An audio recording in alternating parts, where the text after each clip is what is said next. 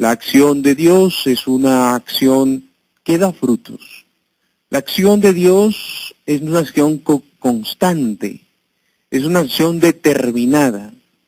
Y lo que espera precisamente el Señor es que hagamos lo que Él, con ahínco y decisión, está realizando. Es decir, cumplir con la tarea. La tarea de dar a conocer los bienes del reino de Dios. Y eso está haciendo Jesús caminando por todos los pueblos. Eso está haciendo Jesús al crear adeptos, seguidores de, esa, de ese mensaje, de esa buena nueva, transformando la vida de todas las personas. Y es por ello que nosotros debemos tener claridad y que nuestra tarea es continuar y completar esa obra de Dios en la vida de todos los cristianos, de todos los creyentes. Nosotros tenemos que tener esa misma determinación de Dios en su Hijo Jesucristo reflejada, y es la de realizar el trabajo, realizar la tarea, no rendirnos, a pesar de todo, a pesar de la dificultad. Esa tarea, porque el sembrador, el sembrador es el mismo Jesucristo, al quien vemos hoy representado en esa parábola, que no es más que un ejemplo de la vida cotidiana, de una manera de ser de los agricultores de su momento. El pueblo de Israel no fue un pueblo agrícola en su naturaleza, era un pueblo pastoril, nómada. En el establecimiento ya del, del pueblo en una tierra, empezaron a realizar labores de de cultivo, pero no era su fuerte.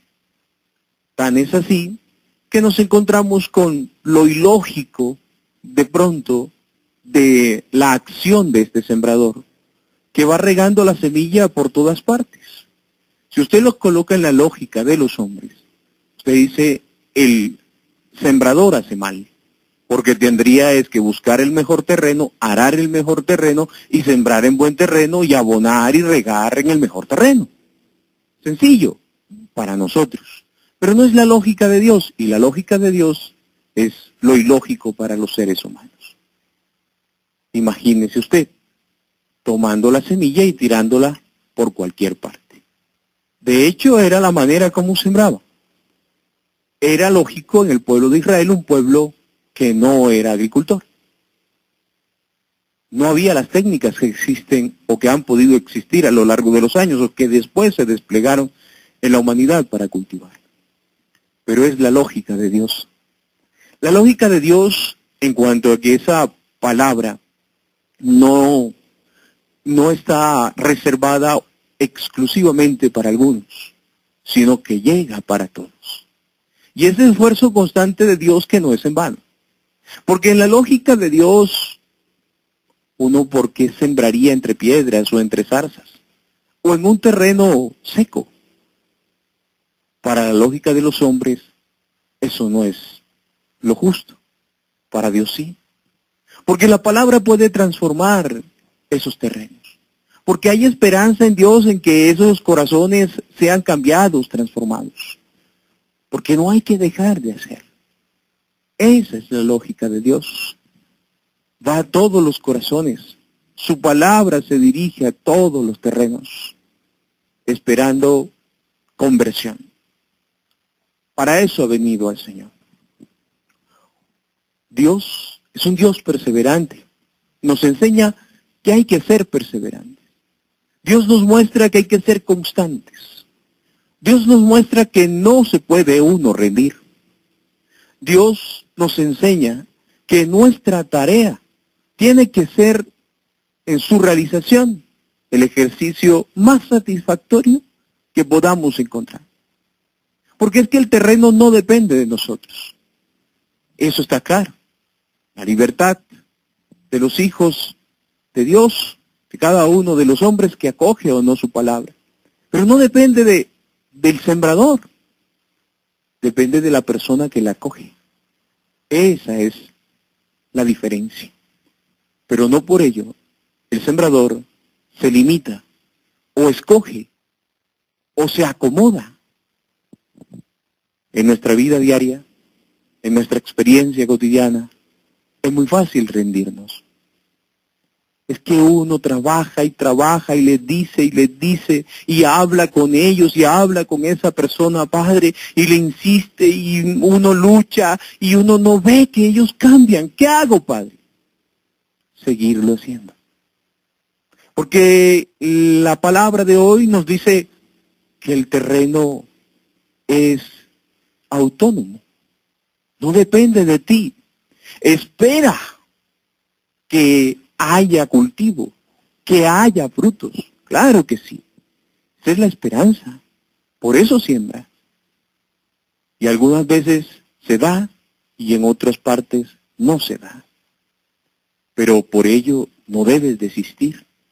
No debes rendirte. Debes seguirlo haciendo. Es la constancia del ejercicio del padre, de la madre. Es la constancia del evangelizador es la constancia del hermano mayor, un poco maduro en comparación con sus otros hermanos, a los que les da indicaciones, a los que les mm, procura una enseñanza que les ayude a cambiar de vida, que les ayude a cambiar de actitud. Y a veces encuentra respuesta en alguno y en otros no. Sin embargo, eso no puede llevarnos a desistir, a rendirnos, hay que seguir insistiendo, hay que seguir sembrando, hay que ser constante en esa tarea, en la casa, en el lugar, porque es que es la continuación de esa experiencia de Jesucristo. Somos nosotros los que llevamos esa palabra de vida, de esperanza, de alegría, de reconciliación, de transformación al seno de nuestro hogar, en nuestros entornos. Somos evangelizadores. Y hoy esa palabra nos convierte en enviados. Hoy esta palabra nos regala una misión, nos recuerda nuestra misión, la de hablar de Dios a todos los corazones. Tú no sabes cómo son esos corazones.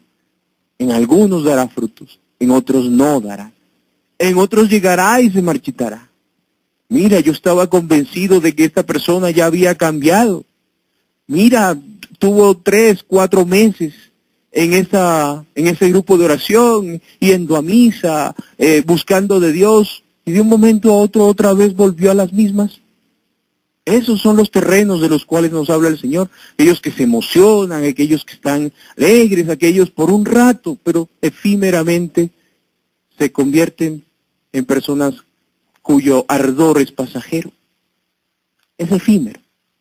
Es eso. Es eso lo que vemos. Pero no por eso voy a dejar de insistir. No por eso voy a dejar de hablar de ti, oh Jesucristo. No por eso voy a dejar mi constancia. No por eso voy a desistir de mi labor, de mi tarea, de amigo, de padre, de hermano. Siendo constante, convencido de que la palabra del Señor lo que hace es mover mi corazón para hablar de Él, para ser como Él y para ayudar a transformar el corazón de cada uno de ellos. A eso nos está invitando hoy esa palabra. Continuadores de la acción del sembrador. Eso somos. No le tengan miedo. No crean, ah, es el Señor simplemente. Sí, pero el Señor a través de ustedes. El Señor a través de nosotros. El Señor a través del evangelizador, del cristiano, del creyente, de aquel en quien ha dado buen fruto la palabra del Señor. Muchos hoy en día podrán decir, yo también me siento que en algún momento de mi vida fui como ese terreno en zarzas. Muchos podrán decir, en algún momento de mi vida creo que fui de esos que se emocionaban, pero volví a caer. Pero al final decidí, definitivamente tengo que volver a, a Jesucristo. Y aquí están. Y ahí le siguen. Y fueron transformados. También en algunos espacios de nuestra vida nos parecemos a esos terrenos hasta que nos transformamos en el mejor de los terrenos para dar el fruto que el Señor quiere, el ciento por uno. Y no se les olvide, hay un mensaje de esperanza, ¿cierto?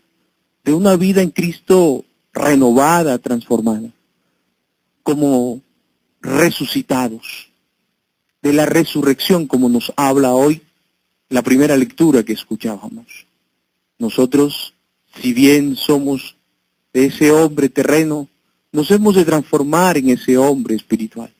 Es decir, esa esperanza cierta en Jesucristo, ese camino, ese que la vida tiene sentido en todo lo que hacemos y realizamos cuando tenemos un horizonte puesto en nuestra vida.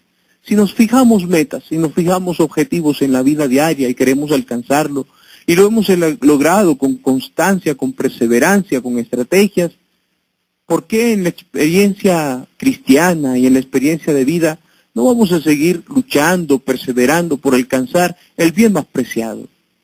La vida plena en Jesucristo, resucitados con Él, alegres con Él, gozosos en Él. Allí tiene sentido lo que hacemos. Eso nos regala hoy la experiencia o la, la, la primera lectura, que no es en vano lo que hacemos, que no es un simple pasar, que tiene un sentido para nosotros como creyentes, como cristianos, la lucha, la perseverancia, la constancia no más brazos caídos, no más desgano en el hacer, no más rendirse en la vida. ¿Para qué? ¿Para qué seguir luchando? A uno se le quitan las ganas, a uno se le va la esperanza, ya no sé qué hacer. Ay, no sé, esas lamentaciones y esas actitudes no son del cristiano, del creyente, del que tiene la esperanza puesta en Jesucristo y el que quiere trabajar por alcanzar esa plenitud en una vida de resurrección. Esa no es la actitud de un espíritu de resurrección, de un espíritu de vida. Tenemos que cambiar esas actitudes. Tenemos que aprender a dejar de quejarnos, tenemos que aprender a dejar de rendirnos, tenemos que aprender a dejar de lamentarnos y expresar con palabras una tristeza que la verdad a veces se convierte en un lamento hasta ciertamente, como decimos eh, popularmente, harto. Esa no es la actitud de un cristiano. La actitud de un cristiano es la que tiene claro que el día a día, la constancia está en esa esperanza. Tiene sentido en esa esperanza, en esa resurrección, en esa vida de resucitados que nos ha dado Cristo. Que ha vencido la muerte, porque usted cree en uno que venció a la muerte. Cree en uno que está a la diestra del Padre. Cree en uno que venció la violencia, que venció el rencor y el odio de los hombres. Ahora tú te vas a rendir porque, no sé, no te miraron bonito, porque hoy no te sonrieron, porque hoy hablaron mal de ti. Por eso ya se acabó la vida, por eso ya te rendiste. No puede ser. La experiencia es en Cristo resucitado, vencedor y victorioso. Ese es el Señor en el que yo creo, ese es el que me inspira, ese es el que me mueve. Y así debemos ser nosotros los que le seguimos, sus creyentes, los que nos adherimos a Él. Gloria al Padre y al Hijo y al Espíritu Santo.